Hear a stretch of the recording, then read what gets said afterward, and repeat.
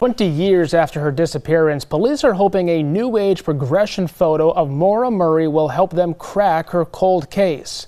22 News anchor Taylor Knight explains where this investigation currently stands. This picture behind me here is an FBI analysis and projection of what Maura Murray might look like today, released exactly two decades after the day she disappeared. Murray was 21 years old on February 9th of 2004 when she left her dorm room at UMass Amherst where she was a nursing student. She was heading for New Hampshire after telling her professors she had a family emergency, but her parents say there was no emergency and still don't know why she was going north.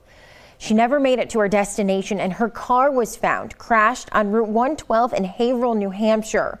911 transcripts show a call from a man driving by a few minutes later. He said that she was shaken up and the airbags had deployed with heavy damage, but she refused any help. By the time an officer got there, the car was locked and there was no sign of her.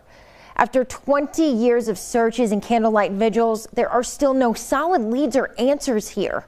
Her family and investigators have never given up searching, though, with their efforts continuing today. Last year, her family put up billboards. The FBI has issued a nationwide alert on her case, and her DNA profile has been entered into the FBI database.